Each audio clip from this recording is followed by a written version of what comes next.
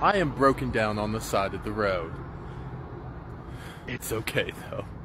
I mean, life happens for a reason. There's nothing I can't fix. I grew up on a farm. I can fix machinery.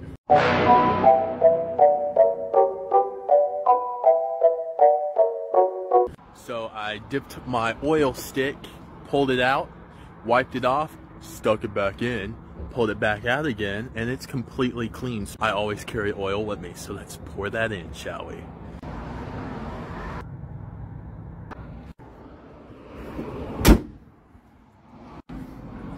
The moment of truth. Here we go.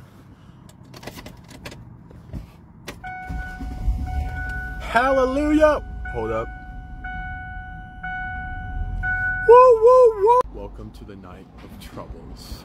Now I have to change this out, and I have absolutely no how to do, how, I have absolutely no idea how to change.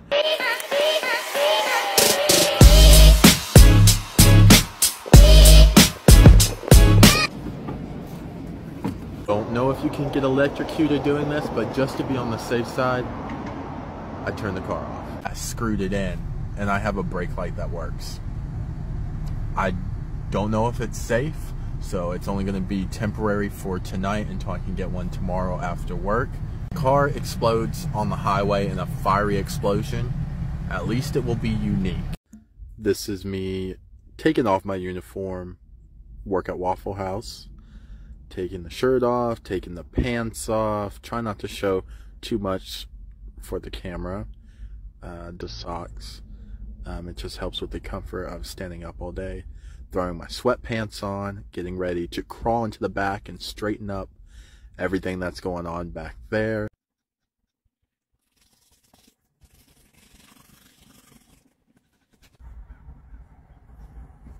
Now, normally I would be doing this all at the gym. However, my car's not running. Even though I got laid off this morning uh, from a job I just started, I did say that I had reliable transportation. I know in the comments you're like, tell us the name of the company, um, tell us what store. That's not their fault. They want dependable employees, and because of my car situation, I am not a dependable employee.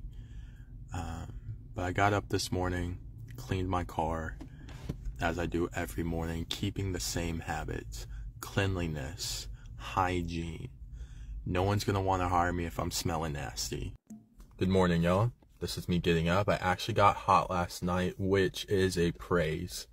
Um, getting up, getting ready for the day. Taco Bell. Big thanks to Jay, or Kobe, Tess, Charlie, D and G Miss.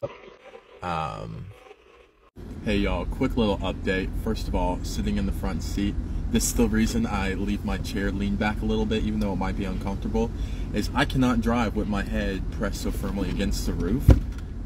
So if I tilt it back, I have room to move around. Good morning, y'all. I have a headache this morning that is making me question life. My temples feel like there is a drum inside my head.